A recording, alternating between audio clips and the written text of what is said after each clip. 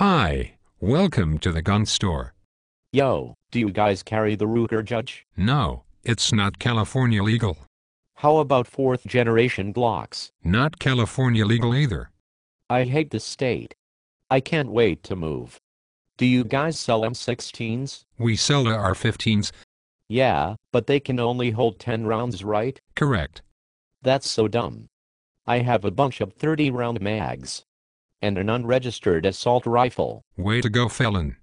When I go to Arizona, I shoot them. Yippee. I can't wait to move to Arizona. That's very nice for you. Would you like to purchase anything today? No. I just like to come in and ask questions that I already know the answer to. And show off how little I really know about firearms. Then brag about my illegal activity. And then complain about California and how I'm gonna move to Arizona.